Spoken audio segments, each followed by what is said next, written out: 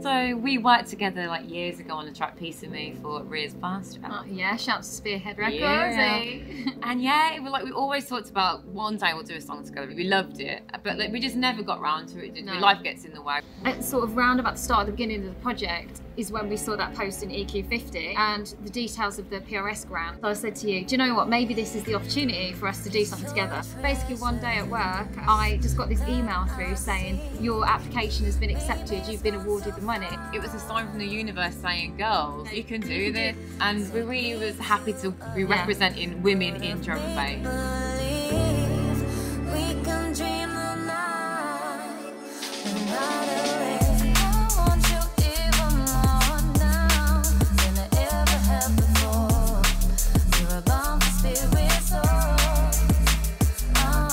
When we were like, right, what's the list? Who do we want on this? Yeah. Let's hit everybody up, all of our friends. We wanted to be really special people that we've worked Yeah. with that we just absolutely love. We started with Visages, we got this six track off there, and then we got the six track off Wine, and then the next thing you know, we had like 14 tracks. Two sides of everything. What the album is called, the reason behind that is, uh, well, we was at Roni Size's studio, And he was like, oh, girls, you know, I'd really like it if you write something that's a bit more controversial. And I don't know, we got into this really deep conversation. And then I was saying, you know, it's just like two sides of everything. and then he went, And went, he's going out and write down his phone. I said, what are you doing? And he said, It's like, I I like might that. have that. I like we're that. like, no, I we're having that. Then we started making the songs more a conversation, didn't we? Of Yeah, like- we wanted it to be like we're having a chat. but we hadn't really distilled it down into thinking, oh, okay, we could put this into lyric like you say one thing, maybe you're feeling a bit down or insecure about something, and I'll put across a different viewpoint. Like, no, you know, this is another way to think about it.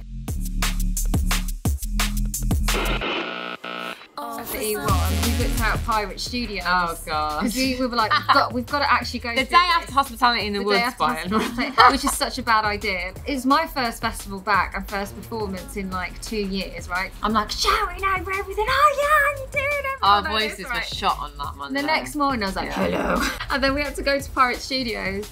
One of our DJs was giving us these looks behind the decks because we'd start singing. we'd just be out of tune. We were like, Like, it's going to be better than this on the night. It's going to be better than this on the night. like no partying the night before. Yeah. We spent quite a lot of time thinking about how this is all going to come together.